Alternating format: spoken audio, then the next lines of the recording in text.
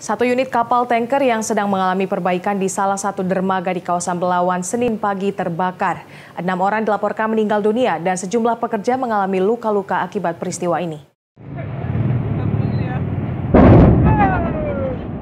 Kapal tanker milik PT Waruna terbakar hebat saat sedang menjalani proses perbaikan di sebuah dermaga salah satu perusahaan swasta yang bergerak di bidang perbaikan kapal.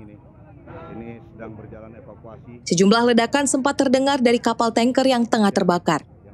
Puluhan pekerja yang berada di atas kapal langsung dievakuasi ke lokasi yang lebih aman. Kapolres Pelabuhan Belawan AKBP Muhammad Dayan telah menurunkan tim laboratorium untuk mengetahui penyebab kebakaran. Kita melihat asap hitam di sana, kita cek itu terjadi kebakaran.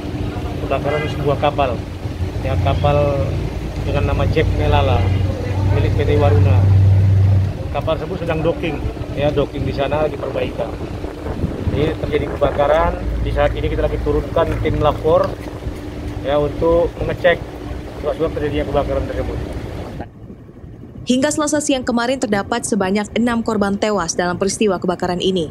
Sejumlah korban luka juga masih menjalani perawatan di rumah sakit yang berada tak jauh dari lokasi kebakaran. Sejumlah pihak terkait masih melakukan proses penyelidikan terkait dengan insiden ini. Tim Liputan Kompas TV Medan, Sumatera Utara.